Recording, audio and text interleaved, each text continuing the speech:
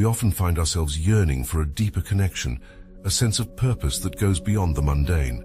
Many seek solace in spiritual practices, meditation, or the pursuit of a higher self.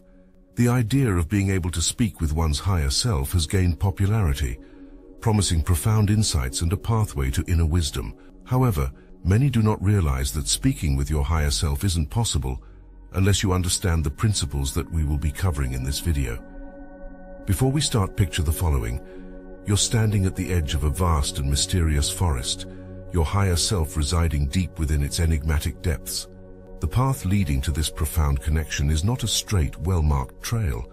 It's more like a winding, twisting journey through the thicket of your own consciousness. To navigate this intricate terrain, you must first come to terms with a fundamental reality, the necessity of self-awareness. Self-awareness is the compass that guides you through the labyrinth of your mind and emotions. It's the light that illuminates the darkest corners of your soul. Before you can engage in meaningful dialogue with your higher self, you must embark on a journey of self-discovery. This isn't about esoteric rituals or complex metaphysical concepts. It's about understanding who you are at your core. Imagine self-awareness as a mirror reflecting your thoughts, emotions, and actions. By gazing into this mirror, you gain clarity on the patterns that govern your life. Are you driven by fear, guided by love, or perhaps a blend of both? Understanding these fundamental aspects of yourself is the key to deciphering the language of your higher self. To embark on this journey of self-discovery, we turn to the ancient teachings of Hinduism, a rich and diverse spiritual tradition that has guided millions on their quest for understanding the self and the universe.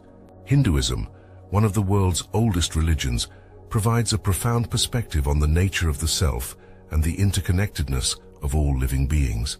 Unlike some other religions, Hinduism does not have a single founder or a centralized set of doctrines. Instead, it encompasses a vast array of beliefs, practices and rituals that have evolved over thousands of years. At the heart of Hindu philosophy is the concept of Atman, the eternal and unchanging self that exists beyond the physical body.